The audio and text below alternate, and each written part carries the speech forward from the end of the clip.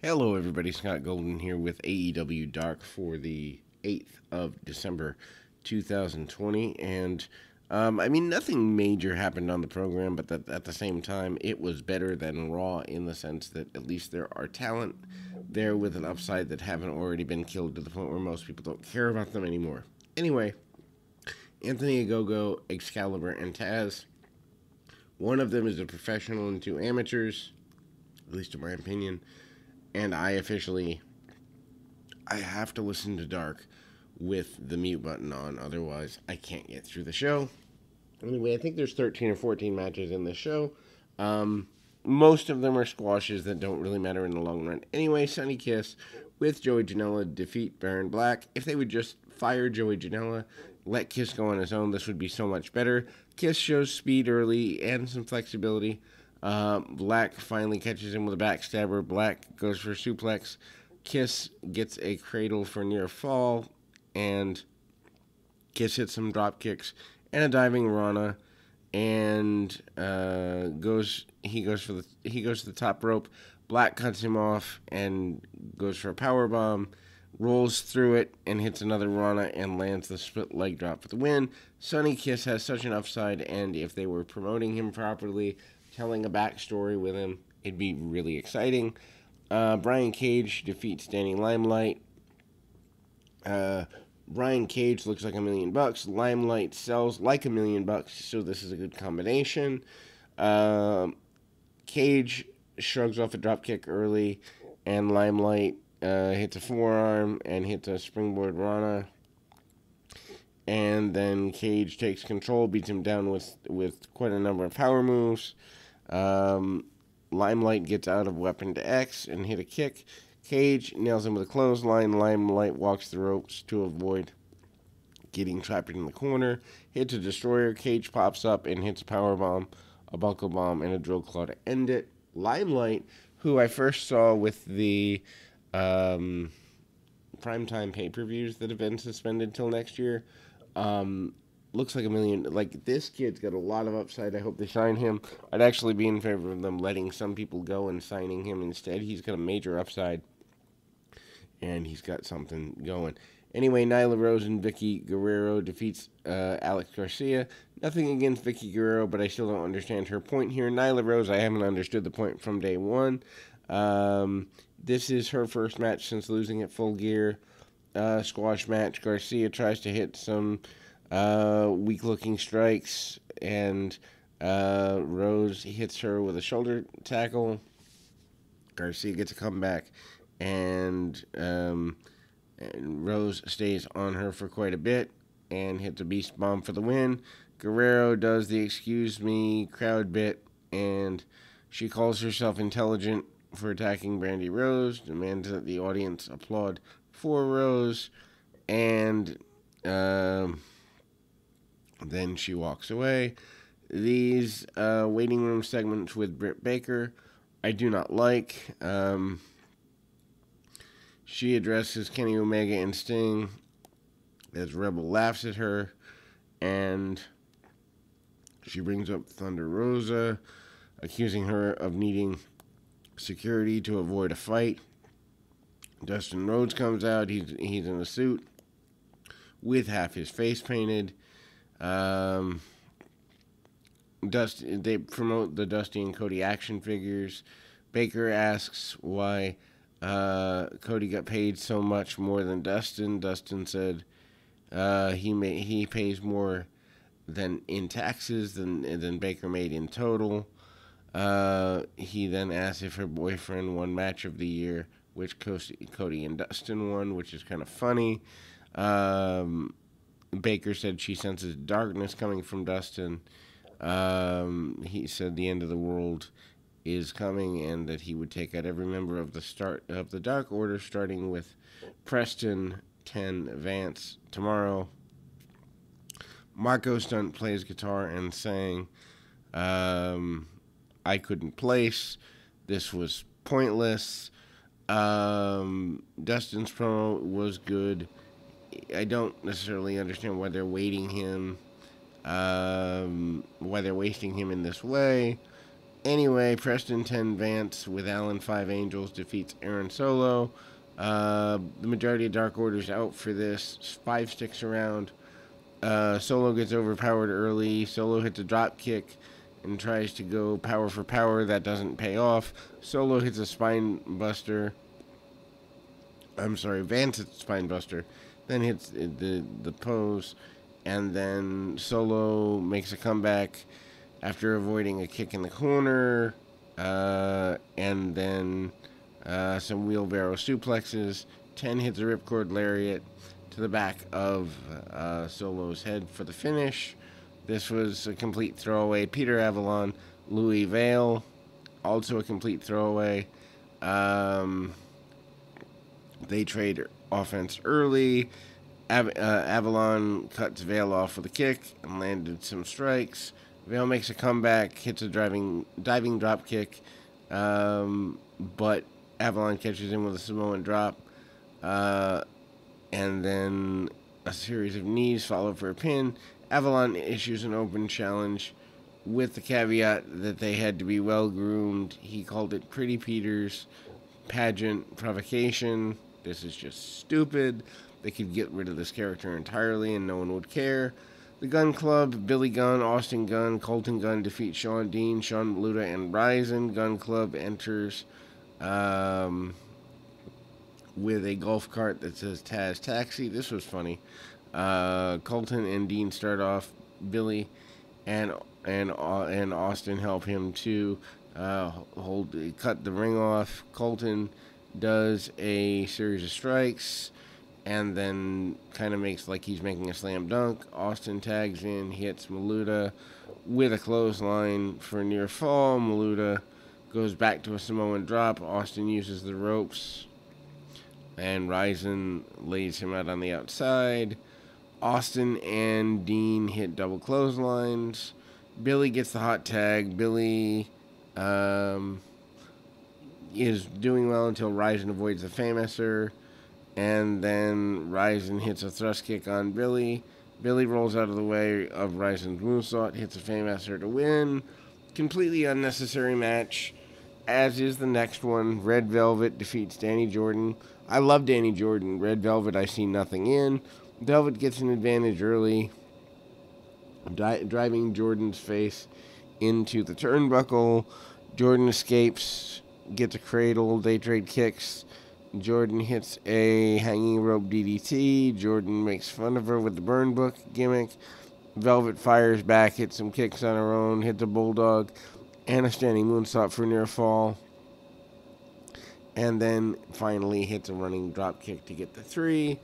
This doesn't advance anybody, and it just takes up time. The show's running between two and three hours a week now. Is dark, and it just doesn't make sense. Um, Jurassic Express, Lucha uh, Saurus, and Marko Stunt with Jungle Boy.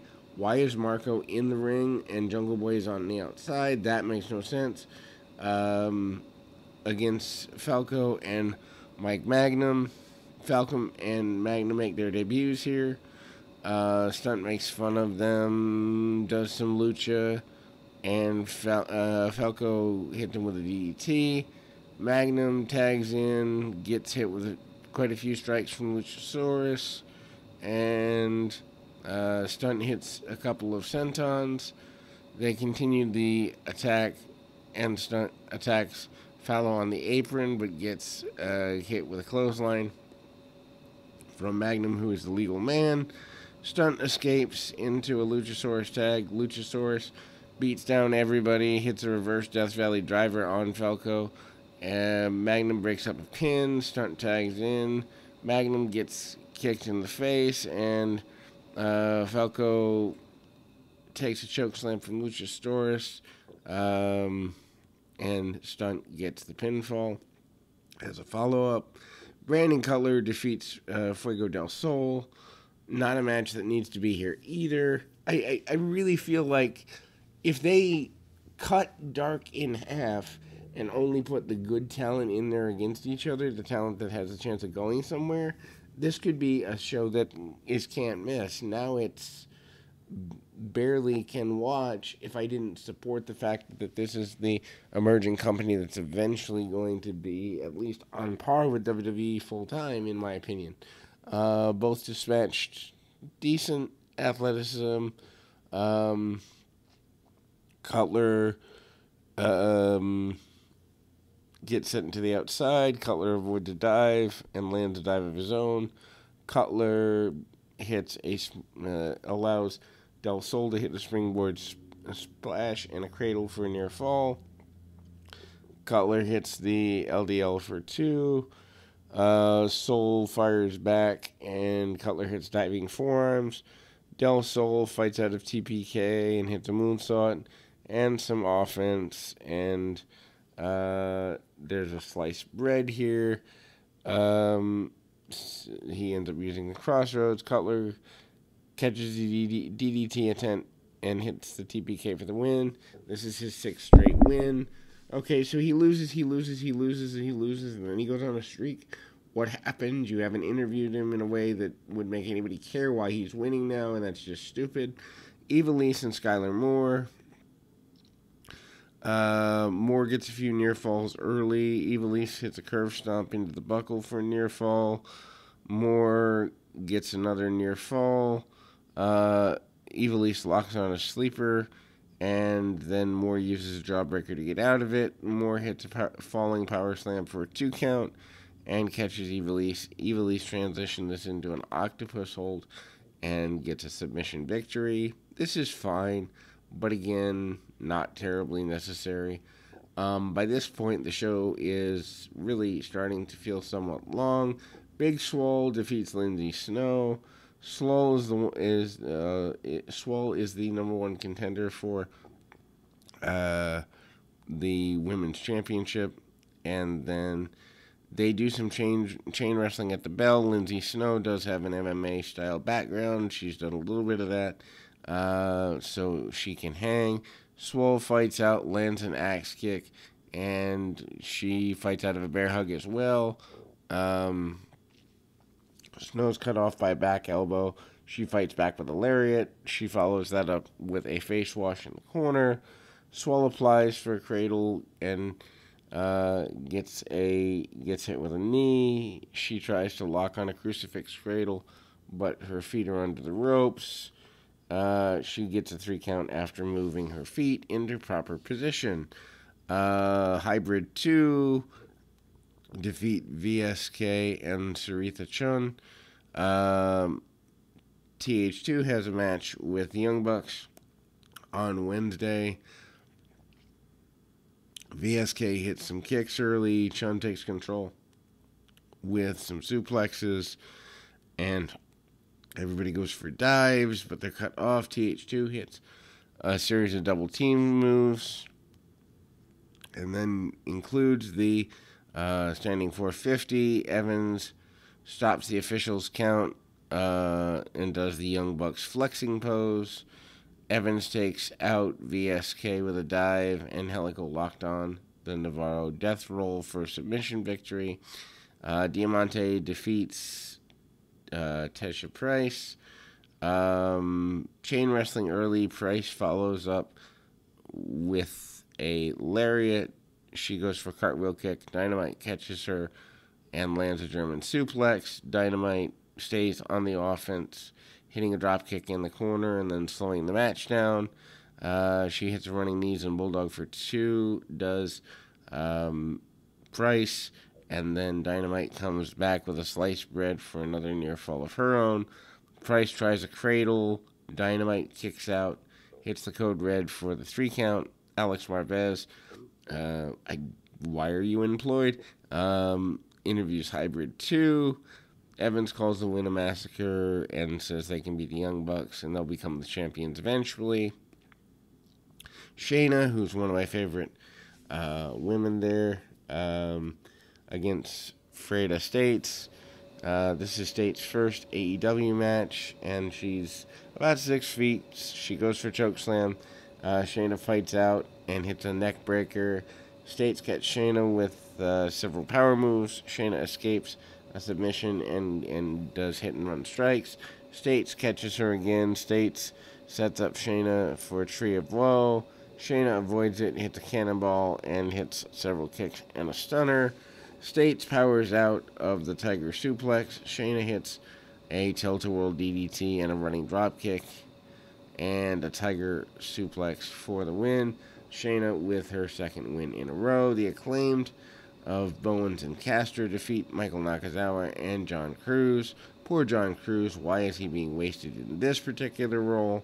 Uh, Caster makes fun of the opponents rapping during their entrance. Bowens takes the mic and said the acclaimed have arrived. Nakazawa um, uses oil early and nearly gets a win with a slipping senton. Bowens cuts off Cruz with a facebuster. Uh, Acclaim stay on Cruz for quite a number of minutes using double teams after a beatdown. Cruz escapes a suplex and hit a bulldog and gets the hot tag to Nakazawa. Words I never thought I would say in that order. Acclaimed avoids clotheslines from Nakazawa. Nakazawa uh, gets rid of Caster and hits Bowens with a spear for a two count. Nakazawa goes to do the underwear deal, but Bowens levies him with a forearm. Acclaim sent Cruz um, to the loser's window for uh, with the acclaim to fame. Then your main event of the episode or your last match, depending on your idea. Uh, Varsity Blondes, Griff Garrison, Brian Pillman Jr. against Dark Order, Colt Cabana, and Alex Reynolds. Blondes face FTR on Dynamite today. Garrison and Reynolds start off, and Garrison takes control with the advantage. Cabana tries to get involved. Blondes uh, maintain their control and the numbers advantage. Um, Dark Order back in the ring and some hip tosses and some strike attacks. Pillman goes for springboard. Cabana takes him out, allowing the Dark Order to take advantage. Dark Order maintain controls and um, keeps the illegal man in on a regular basis. Pillman finally escapes, and Garrison gets the hot tag. Garrison goes nuts on the opponent, continuing the attack in the corner on Cabana. Uh, Reynolds breaks up a pin attempt on Cabana. Reynolds hits a discus forearm for near fall. Garrison almost gets a win with a jackknife cover. Uh, the Blondes then, then hit a Doomsday blockbuster, gets their first victory over a more established team. Uh, then we go to another Dustin Rhodes interview with Dasha about his upcoming match with 10. He said there's a history between the Dark Order and the Nightmare family, and he hasn't forgotten. He will go to the ends of the earth to destroy every member of the Dark Order. Blondes are interviewed by Alex Marvez, and Pillman said that AEW has the best tag roster in the world today, and even though they're inexperienced, the Blondes make up for it with athleticism and good genetics. So that closes um, AEW Dark. I would still say, in terms of a wrestling program, it was better than Raw. Anyway, um, I will be back with more right after this.